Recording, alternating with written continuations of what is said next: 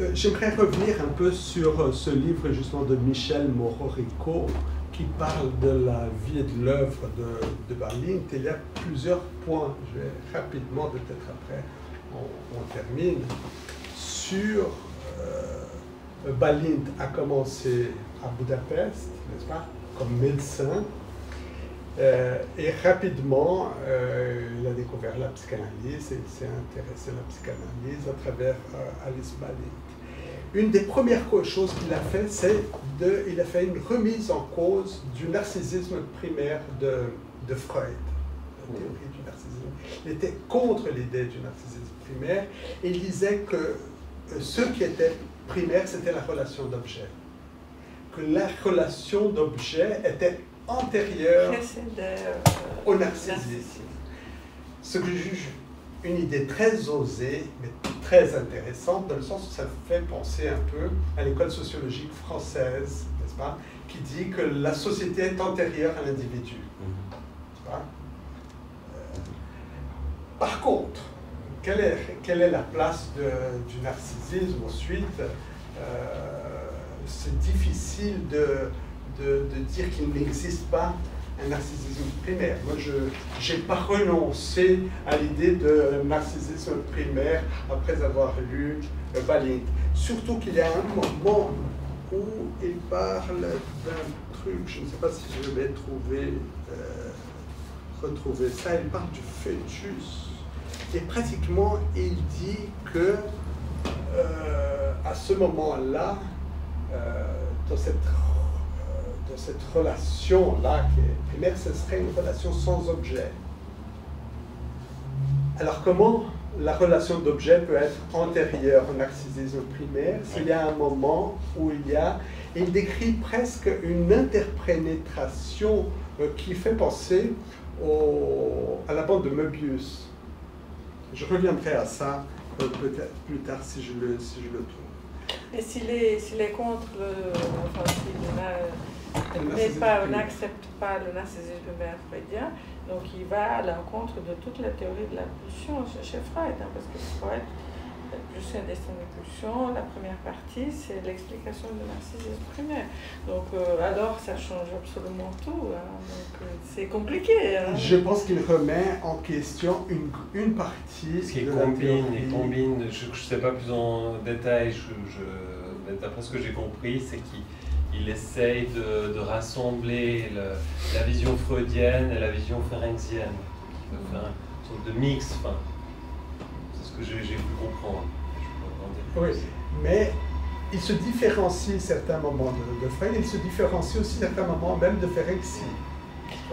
Parce qu'il y a euh, dans, cette histoire de la préexistence du sujet, qui c'est le S2, lacanien bien sûr, S2 préexiste au S1, il n'y a pas de doute, mais c'est quelle est la relation que le sujet, est-ce qu'il va établir? Bien sûr, le S2 a une, une influence, même intra-utérine, euh, c'est-à-dire sur, sur le bébé, le fœtus, il va avoir une influence. Donc le, mais la perception euh, du sujet, euh, bébé, disons, si on est kleinien, c'est-à-dire qu'il n'y a pas un intérieur et un extérieur, c'est un tout. L'extérieur fait partie de l'intérieur, c'est une fusion. Donc il va pas, euh, c'est pas une relation d'objet dans le sens qu'il ne peut pas nommer ce qui est l'autre. C'est ça. Il ne peut pas imaginer. C'est-à-dire pour lui, l'autre et lui, c'est un même. Il se distingue de Mélanie Klein, déjà, bah parce que euh, pour lui. Mais dans une meilleure explication. Il nie, il nie le, sadisme, le sadisme primaire. Euh, il nie la primauté de la pulsion partielle par rapport à la Parce que tout ça implique beaucoup d'agressivité, et puis lui, il était trop gentil. Exactement. Il était gentil Mais toute sa théorie, c'est une théorie de la pensée qui est... Il y a tout un courant dans la théorie de la pensée, je veux dire, ça dans, chez les, philosophes, euh, qui pensent que l'homme est bon, il naît bon. Et sur lui, euh, selon Balit, l'homme, il naît bon, et c'est le traumatisme qui le rend violent. Donc pour lui, il n'y a pas de cruauté primaire, mais mhm. elle serait secondaire au traumatisme. C'est pour ça Alors, qu'il parle, évidemment- de- c'est pour ça qu'il parle d'amour primaire, ce qui est une sorte de, Mhm. de, de, de, de jardin De d'Éden, voilà. entre la maman et le, le le bébé. bon. Plus ou moins, plus C'est ou c'est moins. ça ou bien j'ai mal compris? Non, plus ou moins. Je pense que c'est. Il faudrait qu'on on entre dans les textes, dans les textes de Galbalit, parce que tout ça, ce sont des. C'est une interprétation, mon interprétation de l'interprétation de Michel Mororico, pas? Bien sûr. Donc, quand tu parles de texte de Balint, tu, tu parles de son texte euh, principal, médecin, maladie. euh, Oui, Le médecin, le malade et la maladie.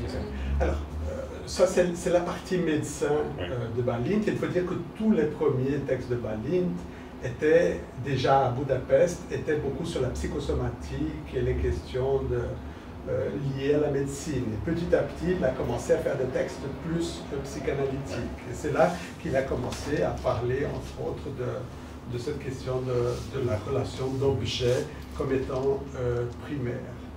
Euh, et il idéalise plusieurs choses. Par exemple, euh, il parle des effets de l'analyse, surtout lorsqu'il était jeune, là, il parle des effets de l'analyse et dit que euh, la suppression du symptôme n'est pas suffisante.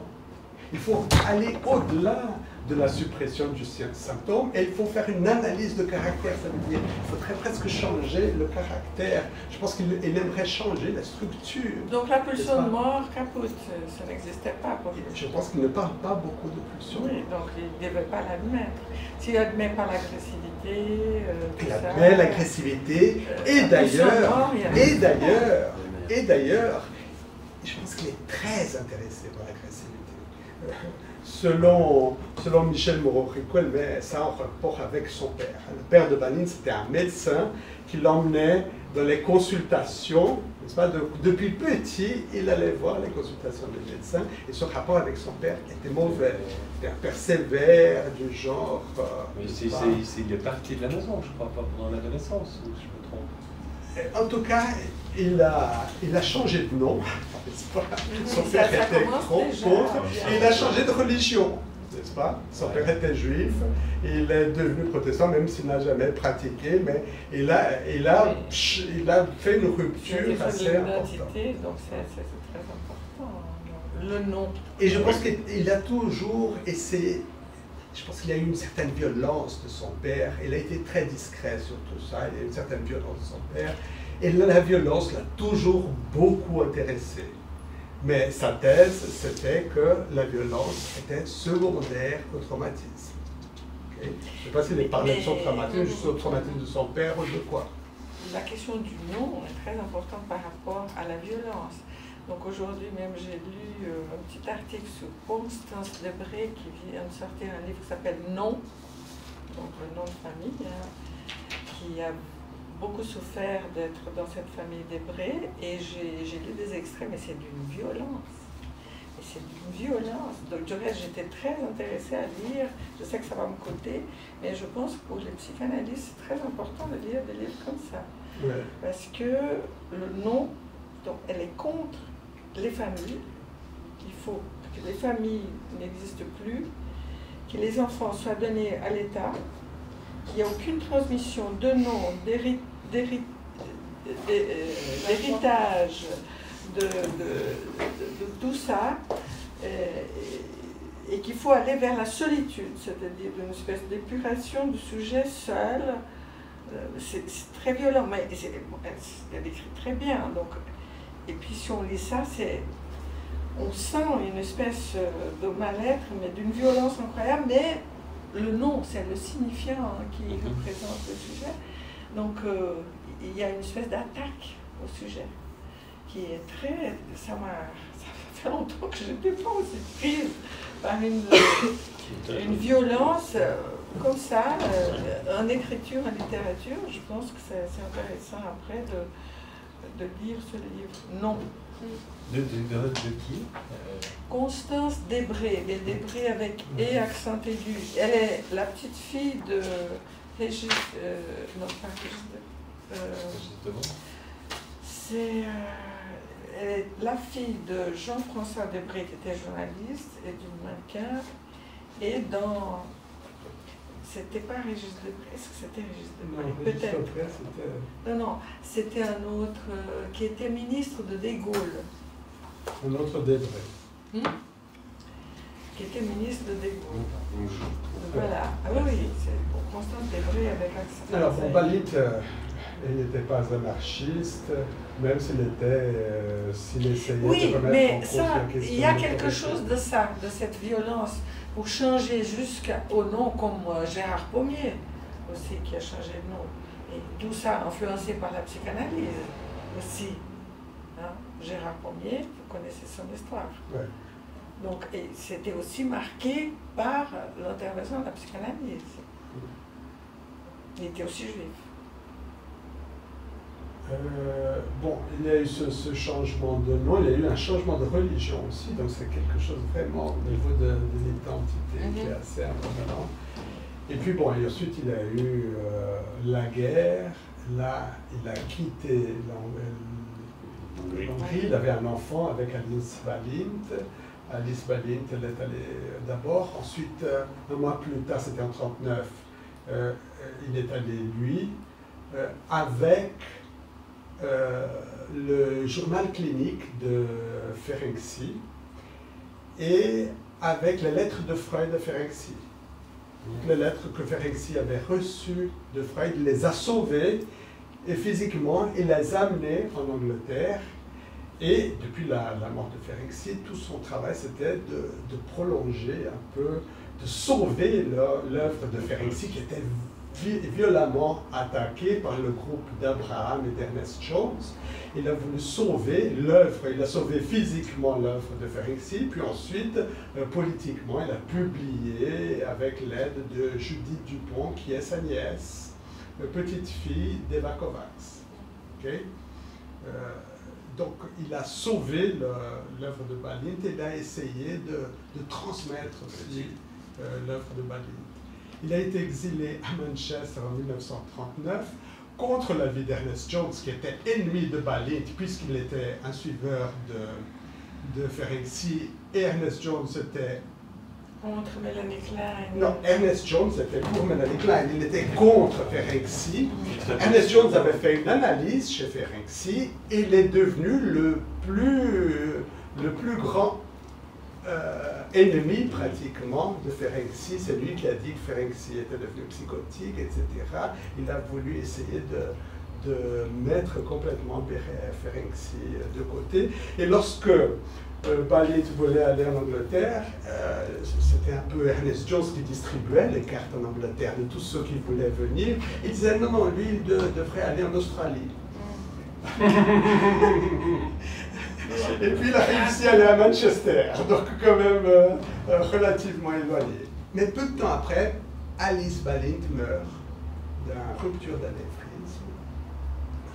Et c'est un moment de dépression pour euh, Balint, seule avec son fils dans un pays étranger, euh, veuf, jeune veuf. Et il a arrêté de- d'écrire là, et puis ensuite il reprend l'écriture à partir de 1947. Il, se marie en 1944 avec une patiente, après le décès d'Alice. Il se marie avec une ex-patiente. Il fait selon les règles de l'art. Une fois l'analyse terminée, il se marie, mais ça n'a pas duré, ça a duré une année ou deux, et, et il s'est divorcé. C'est beaucoup plus tard qu'il va se marier à Enid Balint. Euh, il euh, recommence à écrire à partir de 1947. Là, il écrit justement ce texte dont je vous ai parlé à propos du système d'information analytique, qui est très important. Et puis là commence une série d'œuvres psychanalytiques très importantes de Balint, dont Amour primaire et technique psychanalytique en 52, où il y a la question de l'amour primaire et du défaut fondament- fondamental qu'il appelle défaut fondamental Mm. cette question de l'amour primaire. Donc vous voyez que c'est déjà ambigu, parce que si on parle de défaut fondamental, il y a quelque chose qui manque. fait. Euh, de cette relation passive euh, de l'enfant, euh, où il dit que l'enfant n'aime pas, l'enfant est aimé. Ok, ça c'est. c'est ça. En, en tout cas, il met l'enfant comme dépendant, ce qui ressemble un peu à Winnicott. Et puis ensuite, en 1954, il écrit la vie et les idées du marquis de Sade. Ok Ça veut dire, il s'intéresse à la question du sadisme. Vous voyez que c'est pas si simple son refus du sadisme primaire. Ça ne veut pas dire que c'est pas intéressant, qu'il ne se préoccupe pas de ça. Il se préoccupe beaucoup de ça. Et ça ne va pas tomber dans l'oreille d'un sourd. C'est qui qui va s'intéresser à ce texte après lui? Lacan. Dans les années 58, 59, 60. Et Lacan, il s'intéressait déjà à Balint à partir du système de formation analytique, mais il a, il a commenté beaucoup ce livre de Balint, Amour primaire et technique psychanalytique, qui a été écrit en anglais et que Lacan a lu en anglais. Ensuite, il écrit Les voies de la régression. Sa question de la régression était très importante pour lui. Et puis en 68, il écrit Le défaut fondamental, aspect thérapeutique de la régression. Parce que pour lui, c'était toute l'époque kleinienne, sur ce point il était kleinien, euh, il mettait l'analyse comme étant une régression, une régression bénigne, et toute la peur de des analyses de cette époque, c'était la régression maligne. Ça veut dire une régression qui, développerait une psychose. Pas? Euh, c'est les états limites, le problème des états limites. Mais selon eux, c'était des questions de technique analytique qui pourraient mener une psychose ou pas, déclencher une psychose ou pas. Ils avaient beaucoup peur, le divan était très important, il ne fallait pas mettre euh, allongé selon euh, euh, certains. C'est fait trop chaud pour la machine. Pour oui, aussi. 5 minutes, 5 minutes, ça va être. Tu es très enthousiaste, mais. Non, je vais terminer. Oui, et je vais juste terminer avec la question de Balint en France et la relation avec Lacan. Donc, Lacan, il admire euh, le clinicien, mais il réfute le théoricien. Euh, pourquoi? Parce que Balint, il parlait de la question de cette harmonie euh, primaire, que d'ailleurs Winnicott aussi, ça l'a heurté, cette question de l'harmonie primaire, mais qui ne semble pas si claire que ça, parce qu'il parle de la nostalgie d'une complétude imaginaire. Donc cette complétude, elle serait imaginaire. Donc c'est presque la nostalgie de quelque chose qui n'a pas eu lieu. ok? Euh, Ici, je trouve que euh, ce qu'il disait, qu'avant la naissance, le soi et l'environnement sont mêlés, n'est-ce pas euh, Qu'ils s'interpénètrent et que c'est un univers sans objet. Et c'est ça qui fait penser à la bande de Möbius. Mm. Le soi et l'environnement s'interpénètrent. Et c'est pour ça que je dis que c'est difficile de dire que euh, la relation d'objet est antérieure euh, au narcissisme primaire s'il n'y a pas d'objet au début. Donc, il réfute le théoricien, Lacan, et entre autres la question de la fin de l'analyse. Il faut dire que la, euh, a été un des premiers à parler de fin d'analyse. Et ça, c'est une question que Lacan a travaillé toute sa vie. S'il n'a pas théorisé la question de la séance courte, il a théorisé la fin d'analyse. Et beaucoup. Par contre, à l'envers de Balint. Parce que Balint, c'était l'idéal de la génitalité, et l'amour génital, c'était presque l'issue de l'analyse. C'est ça, Lacan, n'est-ce pas Il n'a pas supporté cette idéalisation de la génitalité. Et justement à ce moment-là, euh, il y a eu, en 1953, il y a eu un échange de lettres entre Balint et Lacan, autour justement, puisque Balint représentait l'IPA, n'est-ce pas? Et Balint, il a essayé de, faire la nouvelle société être reconnue euh, par l'IPA. Il a eu tout un échange avec Lacan. Lacan a beaucoup apprécié la position de, de Balint.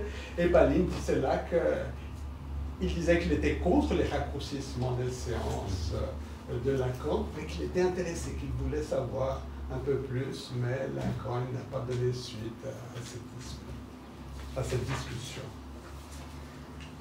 Voilà. Je vous remercie beaucoup. Merci, Merci beaucoup. Merci à toi. Merci.